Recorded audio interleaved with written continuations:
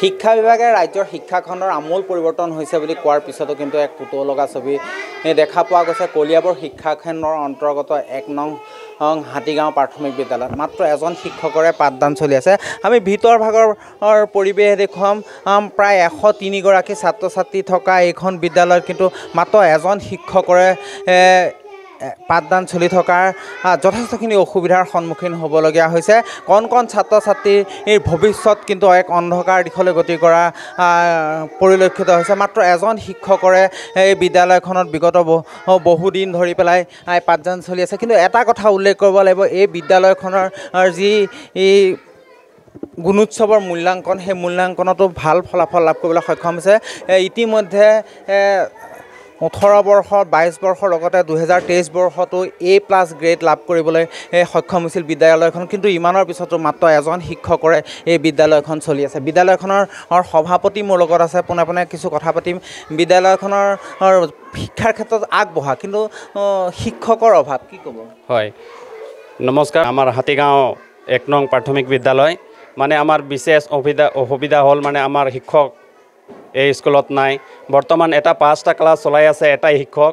গতিকে আমি অনুৰোধ কৰোঁ চৰকাৰক যদি এই স্কুলটো চলাব ইচ্ছা আছে যদি শিক্ষক দিয়ক নহ'লে স্কুলখন বন্ধ কৰি দিয়ক। আমাৰ অনুৰোধ সেইটোৱেই আৰু।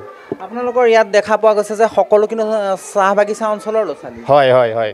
আমি এইটো বিশেষ কৰি আমাৰ বাগানৰে মানুহ আছে আৰু আমাৰ কাৰ্বি কাৰ্বিকেইটাও আছে ভাই ভনীসকলে কিন্তু ইয়াত মানে ধৰক আগতে আছিলে শিক্ষক আৰু শিক্ষয়িত্ৰীও আছিলে কিন্তু সিহঁতৰ ৰিটায়াৰ হৈ গ'ল এতিয়া। বৰ্তমান এটাই শিক্ষক আছে আৰু। বহুত। অসুবিধা হয়। এতিয়া যদি অফিচৰে কাম আছিলে তেতিয়াহ'লে মাষ্টৰটো অফিচৰ কামটো চম্ভালিব ন এই স্কুল চাব। সেইটোৱে আৰু মেইন নিশ্চয়কৈ আচলতে এটা কথা উল্লেখ কৰিব লাগিব।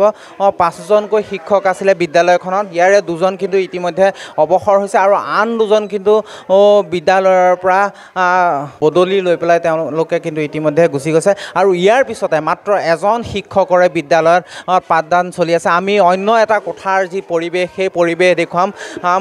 মোৰ সহযোগীয়ে সেই দৃশ্য দেখুৱাব। এজন শিক্ষকে এটা শ্ৰেণীতে এইদৰে কিন্তু পাঠদান কৰি থকা দেখিবলৈ পোৱা গৈছে।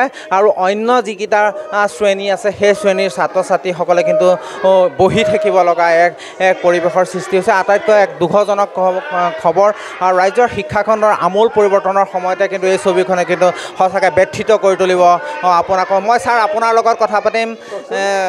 এজন শিক্ষক অকল আপুনিয়ে। যথেষ্ট অসুবিধা হয়। অসুবিধা বিশেষ বহুত অসুবিধা হয় কিন্তু কি কৰিব? এতিয়া শিক্ষক যেতিয়া নাই মই অকলে মেইনটেইন কৰি আছোঁ আৰু অসুবিধা। কিদৰে পাঠদান কৰিছে? ইটো ক্লাছত দহ পোন্ধৰ মিনিট সিটো ক্লাছত দহ পোন্ধৰ মিনিট তেনেকৈ কৰোঁ। তাৰপিছত কিছুমান ল'ৰা ছোৱালী যিবিলাকে জানে সিহঁতক অলপ চাবলৈ কৈ দিওঁ। সিহঁতে গাই দিয়ে সিহঁতৰ লগে ভাগে গায়। তাৰপিছত কেতিয়াবা গাঁৱৰ শিক্ষিত যুৱক যুৱতী মাজে সময়ে আহে পঢ়াবলৈ। সিহঁতে ইচ্ছা কৰিলে যেতিয়া স্কুল নাযায় তেতিয়া ছুটি পায় সিহঁতক পঢ়াব দিওঁ। তেনেকৈ চলাইছে লগত। অনুৰোধ কৰিব? এতিয়া শিক্ষক লাগে। বিদ্যালয়ত আৰু কি? এটা শ্ৰেণী অনুপাতে শিক্ষক দিলে মই বেছি উপকৃত হ'ম বুলি ভাবোঁ। উৎসৱতো কিন্তু আপোনাৰ বিদ্যালয়খনে ভাল ফলাফলেই কৰিছে। হয় আমি যেতিয়া কষ্ট কৰিছোঁ কষ্টৰ বিনিময়তো ফল পাবই লাগিব। সকলোৱে কয় যত্ন কৰিলে ৰত্ন পায়। গতিকে আমি যত্ন কৰিছোঁ ল'ৰা ছোৱালীক আপোনালোকে ল'ৰা ছোৱালীক সুধি চাব পাৰে পঢ়িব পাৰে নে নোৱাৰে। এইবাৰো এই- এই- এইবাৰো এ প্লাছ পাইছোঁ। গতিকে চাৰিবাৰে এ প্লাছ পালোঁ এবাৰে এ পালোঁ প্ৰথম বছৰ।